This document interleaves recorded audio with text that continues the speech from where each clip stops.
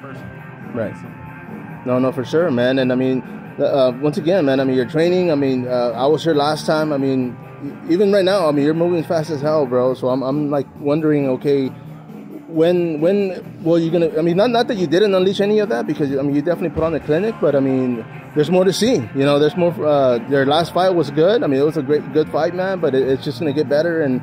And I'm, I'm curious to see when when it's gonna you know what I mean like you're gonna go ahead and go 100 you know go full throttle and just freaking unleash everything man but um you know, congratulations on that last bout right off the bat. Of course, you know, um, I was there. I, I, was able to witness it live, and you know, I, I, enjoyed it, man. I'm sure everybody else did. Now, when it comes to um, future fights, I mean, of course, uh, like you said, coach, man. I mean, you're going to keep training them. You're going to keep adding. I mean, not not uh, changing anything, but just keep adding to uh, what he's already bringing to the table. Um, as far as opponent, I mean, once that name drops, if, if one does, you know, want to yeah, sign we, up? We've looked at uh, Cody Steele. That, that, that's a very good possibility. Uh, he's one of the top dogs out there. He's a very game opponent. Mad respect for the guy. Great jiu-jitsu, good wrestling. Um, you know, we feel like we have uh, some good tools yeah. Uh, to put on a great show. But absolute respect to anybody that gets in there, uh, to, that, that, goes uh, with Nick, or anybody that gets in there in general. But yeah, basically just high caliber opponents. He would be at the top of that list. He's a very game uh, definitely, yeah, whether it happens sooner than later or later than sooner, we're good with it. Uh, that's just the first name that kind of comes to mind. Uh, what's the other guy's name um, that just fought Cody? Uh, that would be another one. Uh, Kyle Felker, maybe. Oh, okay. okay. I think, that might be another one. Another game guy. Um, you know, it's it's every fight's a little different, right? So like when when Nick fought Rosas. Um, you know, that was an opportunity uh, for him to really put on the striking yeah. clinic. And then when he fought Romo, very game, tough opponent, really came out there yeah. to bang and do his thing. Um, you know, rather than than leave any question uh, as far as who is dominant in that specific realm, we just wanted to take, you know, attack what their greatest strength is without you know and show like nah it, ain't there. So that's that's usually how we try to do it. A lot of coaches will make their fighters like run from the other guy's strength. Right. Nah i'm not i'm go, not about go right that. through it huh? Yeah like let's you know go through it and then build from there man. And he, he's he's got that mindset uh, to go out there and he's like you know if if somebody were to say like they're gonna outwork nick whitehead good luck because now you just you just you lit a fire in his ass and it's uh, it's on man because I mean, he outworks everybody in the gym uh, three, four times a day. You know, I got to pull him back all the time. Hey, bro, you know, you need to chill, you need to rest a little bit, let your body recover.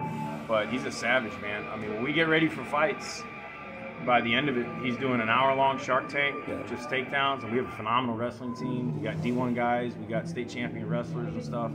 Um, we got some national level guys that come through, and it'll be an hour in the middle. Yeah. Him in the middle, just takedowns, and he just wins, walks through everybody for an hour. Then we'll do an hour straight of the sparring, and he walks through everybody. Then we'll do 20 minutes straight of all the jits with the hits, and he walks everybody. He's the only dude still standing, bouncing around. Everybody else is sucking wind, man. Damn, um, man. So he's just he built different. No, no, for sure, man. And I mean, of course, it's got to be one of your goals to get to the top. I mean, promotions, of course. I mean, uh, UFC, of course, being one of them, man. But um, when, when it boils down to, I mean, as far as uh, are you looking that far ahead, or are you just looking to the next fight, and as far as uh, to you know keep leveling up?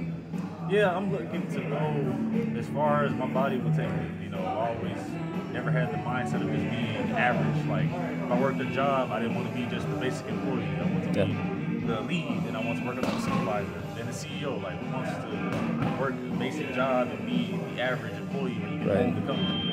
But as far as UFC, PFL, Bellator, um, it doesn't matter. I just want to be able to make money and make this my life for the rest of my life as long as it can possibly handle my body. And then I want to transition to coach fighters as well.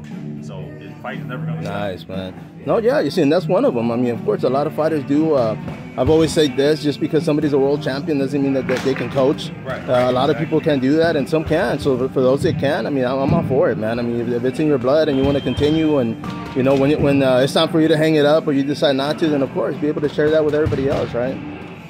Now, uh, as far as uh, fighting, man, I mean, of course, the last time I know we talked, you talked about gaming. You know, being a, a expert uh, gamer when it comes to uh, you know being home and some some downtime. Um, how, how's that going, man? I mean, have you, do you normally know like who you're playing when you're on there, or is it just like random?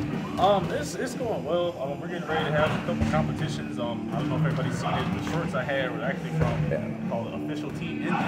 That's me and my guy Darrell. We started the business together, and um, just trying to get anybody who's really down the game just also just spread the message of just positivity and we just average guys just enjoying each other's company and just doing the same. No, you see, and, and that's another thing I was gonna bring up, man, because I see your posts, I follow you, and of course everything that, that you put out there, man, it's very positive. You know, I look at it and I'm like, if I'm feeling down, I'm like, okay, you know what, man? I mean, it, Yeah. it's definitely uh, it spreads, man, and that's good. page, that's for sure. yeah, you're feeling down yourself. Go to Nick's page. Yeah, no, no, for, yeah, definitely, man. And, and let me ask you, what makes you, what helps you keep keep positive, man? What, what is it that you have in your life that you're like, you know what? I mean, obviously we all go through bumps and, and you know on the road, but I mean, what, what do you use to keep you keep you going, man? Oh man, so it's in, intrinsic motivation for me from when I used to have my leukemia when I was five, and that is the primary factor why I am the way I am. Because it's kind of sad when you're looking at your deathbed at five years old, Yeah. your mind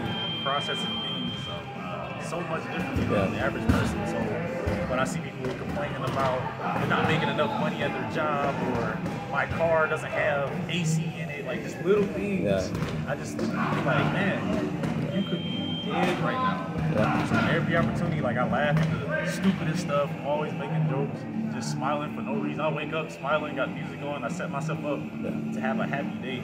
But also, I know there's people out there who's enduring so much and has so many burdens and trauma and just things beyond nature that they need somebody. Yeah. And so when I make those videos, like you say, you watch the videos. Oh yeah, the- man. when I used to do that, it wasn't for to get fame or to become viral. It was something I truly enjoyed doing as a person. Like my talks I used to do as a kid in high school. That's I would talk like that all the time.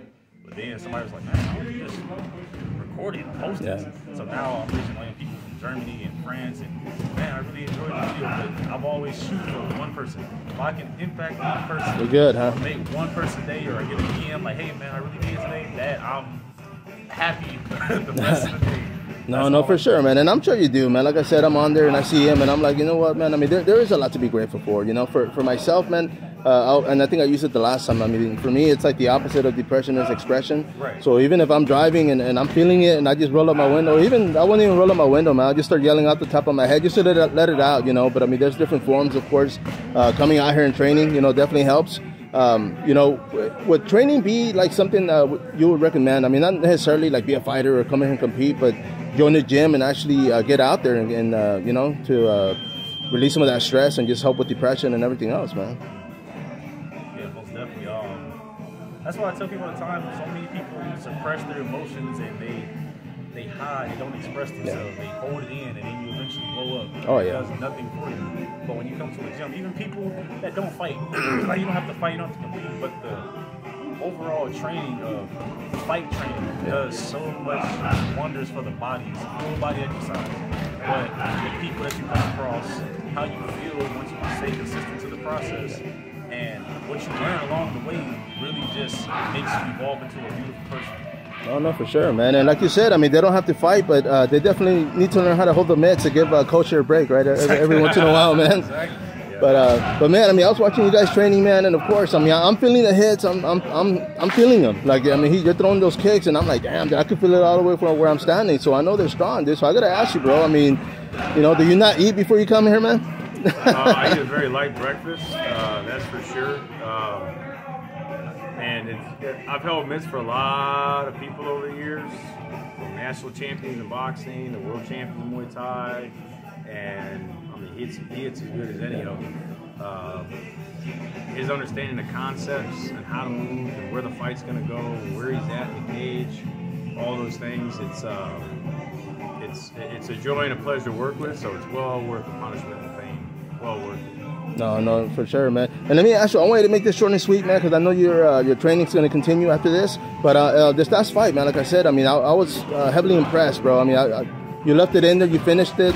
Uh, you didn't leave it up to the judges, and then uh, with that being said, I mean, we, we kind of don't want to, man, because uh, it's happened where a lot of the judges don't see the angles or the see, see what, where, where everybody else is seeing.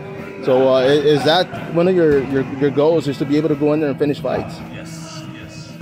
Tired of decisions, tired of leaving it up to the judges. I want to just make it known and make a clear statement. Like, when I come in the cage, I'm winning the fight without the judges help. And, and of course, too, man, you don't want to go two extra rounds, right? Get it done in one round, you know, get, get, get in there and get out, bro.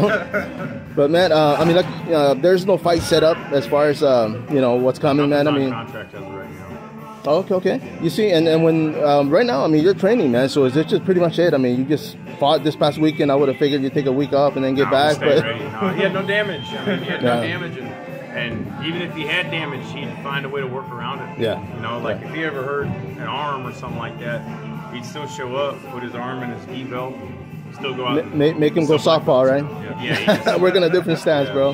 Nah, yeah, he'll, he'll find a way to work around it. If I had to defy, or if I had to define Nick in two words, it'd be like defy mediocrity. Yeah. Because that's what he does. He defies mediocrity every single day. There's nothing mediocre about this man.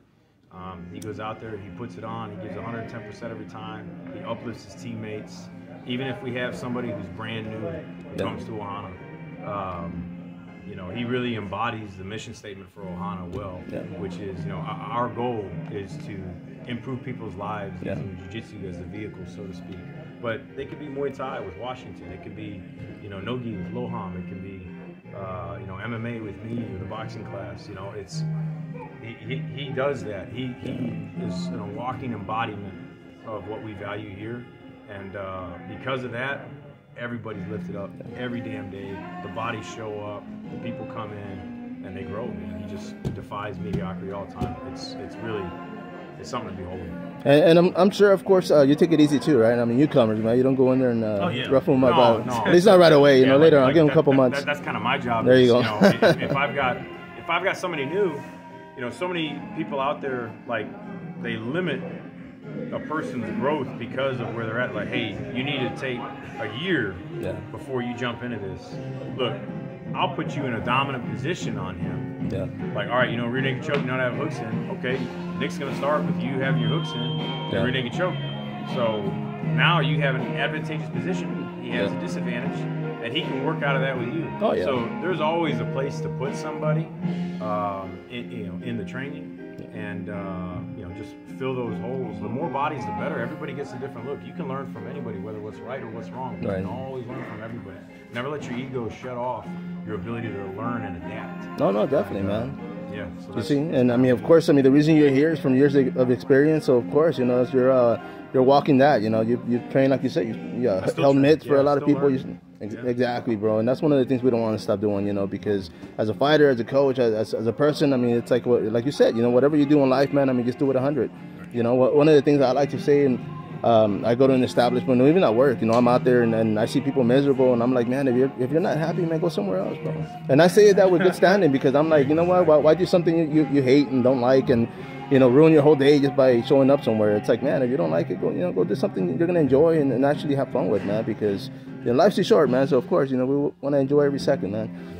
But gentlemen, I do appreciate this, man. Uh, one last thing, as far as sponsors, bro, because I know those things are big. Uh, who helped you out for this bout, and how can they contact you guys for uh, future sponsorship? Headshots by Erica. She does all of our uh, headshots, some of our uh, photos for training. She's a phenomenal photographer. Definitely hit her up. She's fantastic.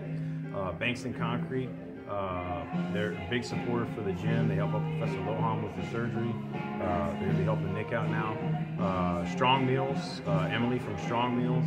Uh, she's gonna be sponsoring Nick now as well. Nice. So uh, yeah, we're working on more Subtech Performance, who's like the strength and conditioning guru. Uh, he does everybody's here. Phenomenal guy to work with. That's Dustin Castro.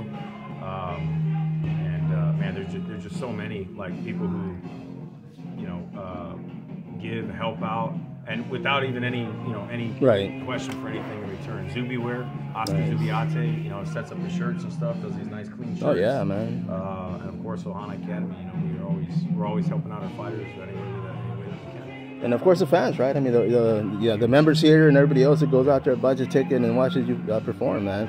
Um, and, and where can they contact you guys real quick for future sponsors, or even for Uh, this coming fight? uh, Ohana Academy. Go to the uh, HQ, or you can look up Greg Parris 43 on uh, Instagram. You You can look up uh, Nicholas Whitehead official. Whitehead underscore official. Yeah, Whitehead underscore. yeah, it's not Nick. It's Nicholas. Nicholas, there you go. And I remember that this time, bro. I don't want. I don't want to feel that kick. I already felt that kicking up. So, but my man, I do appreciate you guys, uh, gentlemen. You're gonna continue your training. Uh, I'm looking forward to what's next, man. When that news drops, I hope you guys call me and I can come back here and uh, get a couple more more questions. Absolutely. Thank you, Spider. Appreciate it, guys. Everybody else, of course, Spider here, The Fight Card Podcast. Till next time, follow up.